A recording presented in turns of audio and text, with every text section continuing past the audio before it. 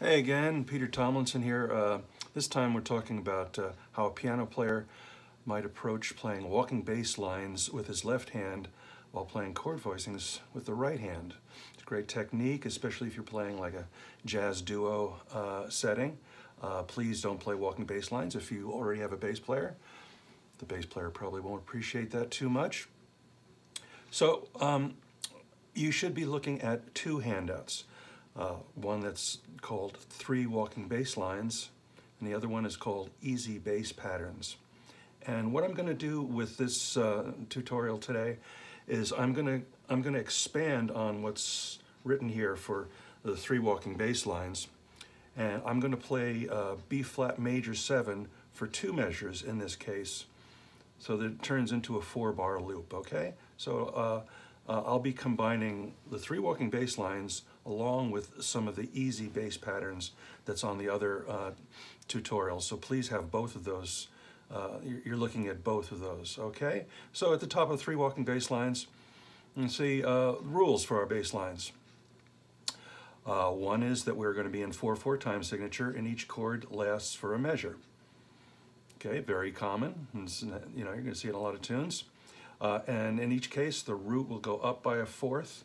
Otherwise, these bass lines don't really work that well. Um, we're always starting on the root. Uh, uh, jazz walking bass lines is, a, is a, an improvisation art form. So, you know, a good bass player knows many ways of walking a bass line, doesn't always have to start on the root. But for us, it's going to be a good place to start. Okay, and then uh, we're gonna maybe try swinging it a little bit, uh, adding a little grace note here and there to push it a little bit, um, just to make it sound a little bit more swinging.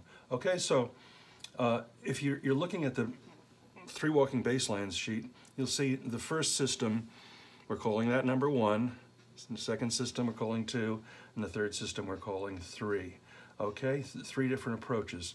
So for the first uh, bass line, uh, we're walking up the scale, in this case in the key of B flat. Um, and for the two and the five chord, we need to add one chromatic note. For the minor seventh chord, as we walk up,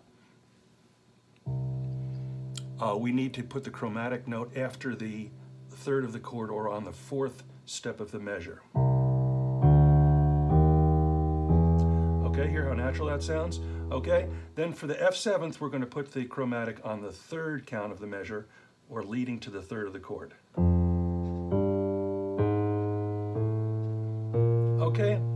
Not inventing anything here. This is just, these are really tried and true uh, walking bass line ideas. Okay, and then um, to round out number one, I'm going to combine that uh, with an easy bass line, easy bass pattern, just walking straight down the scale for two measures. Um, on, the, on the easy bass patterns, everything is written in for the key of C, but uh, think of the intervals, okay? So as we're going through those, don't just look at the letter names that are written in the bass clef. Look more at the, at the intervals that are written above the notes, okay? So let me see if I can uh, demonstrate this one, okay? Uh, and play along, all right? Have your keyboard, have your chart, Play along. One, two, three, four.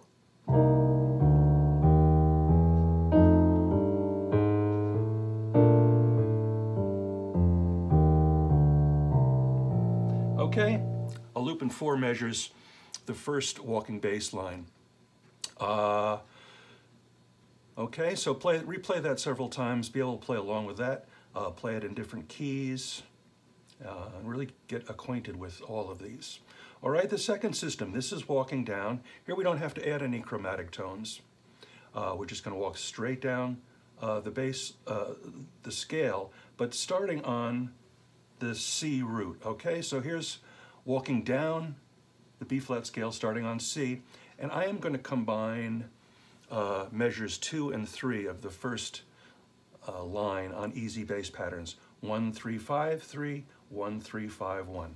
Again, we don't, we're not calling them easy bass patterns for nothing. Okay, here we go. Welcome straight down the scale. Two, three, four.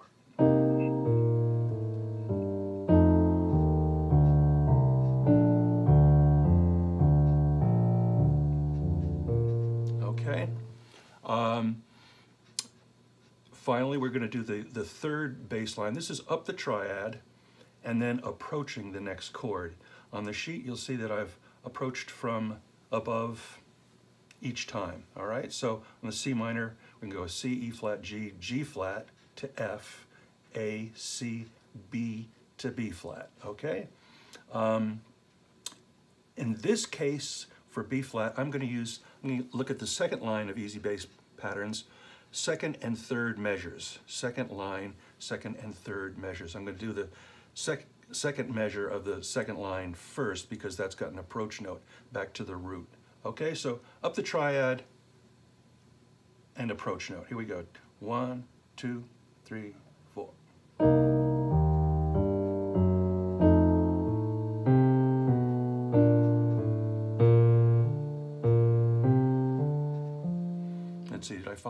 One, two, three, approach. Yeah, I did. Okay. All right, so those three bass lines uh, for uh, a 2-5-1 progression and then adding um, easy bass patterns for a two measure a chord that lasts for two measures, a really common thing to happen also. All right, and then at the bottom of the page, um, this next most common chord progression that you're going to encounter in standard tunes and jazz tunes, a one, six, two, five. Uh, here, just like in Tenor Madness, we've substituted a dominant chord for the sixth chord, uh, so we're calling it G seventh instead of G minor seventh. Um, and it's something jazz players do frequently. Uh, if you are harmonizing a melody, sometimes the sixth dominant could clash with uh, a prominent melody note. So be cautious with that, but uh, that doesn't mean that you couldn't substitute it during your solo, okay? So that's something that's pretty commonly done also. Okay, so here we're just using, um, in the first measure, I'm, I'm, looking at the bottom of the page of three walking bass lines. Uh, we're using an easy bass pattern. This is actually one, two, three, five against the, uh, the B flat major seventh, but I'm doing something that bass players do pretty frequently. I'm changing the register. Instead of going up to the fifth step, I'm going down to the fifth step. It's going to, uh, it's going to be a nice intervallic sound, and it's also going to connect with the G. And then I'm using up the triad and approach for G seventh. I'm using down the scale uh, or the second walking pattern for C minor seventh, and then I'm using walking bass line number one for the F seventh, up the scale with a chromatic note. Let's see how that works out. One, two, three, four.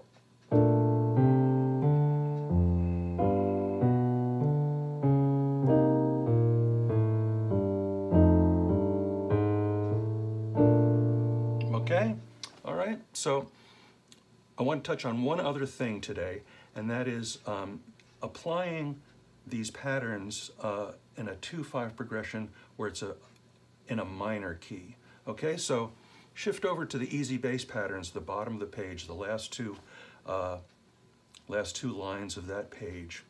And I want to look at A minor 7 flat 5, D7 flat 9 to G minor. So we want our bass lines to represent the minor key a little bit better. So notice the key signature all right, uh, at, at uh, measure 13, uh, we have two flats in the key signature. All right, so as we walk up the, um, the A minor, and I'm going to take these, these notes, uh, let's see. Yeah, I'm going to take them down the octave so that it doesn't collide with my right hand, and it's going to sound more bassy anyway. Uh, so A minor, the second note is B flat, it's in the key signature. It wouldn't be wrong to use B natural. That would be okay, and a lot of bass players might do it. Um, but I'm feeling like that's just representing the, um, the minor key a little bit better with the B flat in it. And then for the D7th, I'm just walking down, but I'm using that flat six, again, using the, uh, the minor from the G minor scale, all right, and then G, G minor,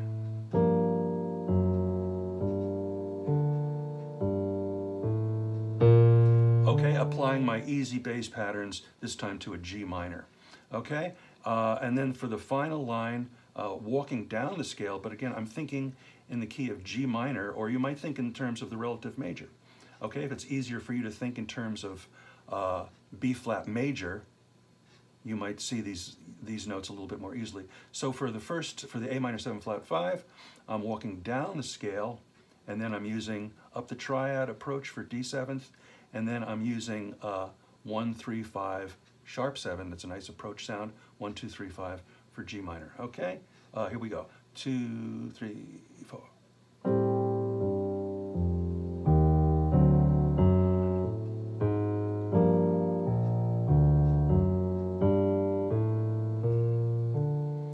Okay, so a tune like um, uh, um, any tune like Alone Together or uh, Autumn Leaves or something like that, try your minor two fives with walking bass lines. Okay, that wraps it up, and uh, see you for the next one. Take care.